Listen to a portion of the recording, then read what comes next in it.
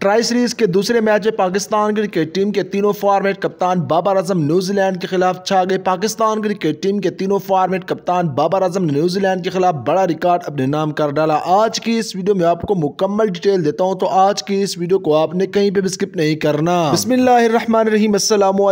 एक और नए वीडियो के साथ आपकी खिदमत में हाजिर हूँ आप देख रहे हैं हमजा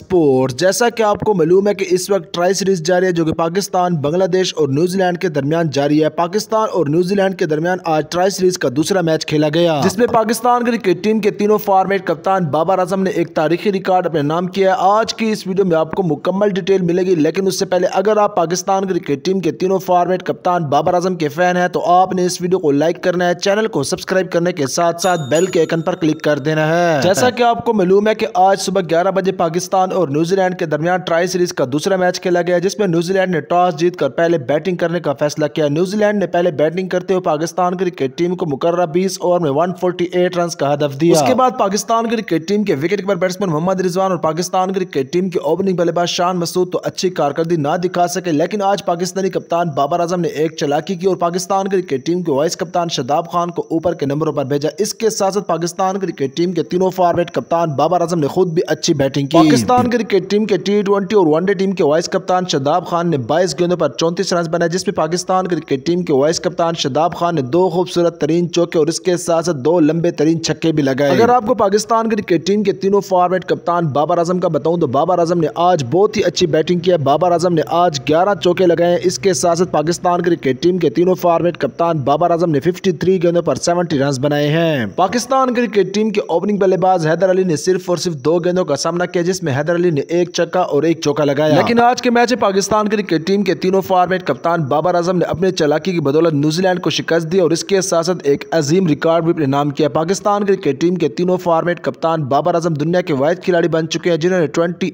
एट फिफ्टी सिर्फ और सिर्फ फोर इनिंग्स में मुकम्मल की हैं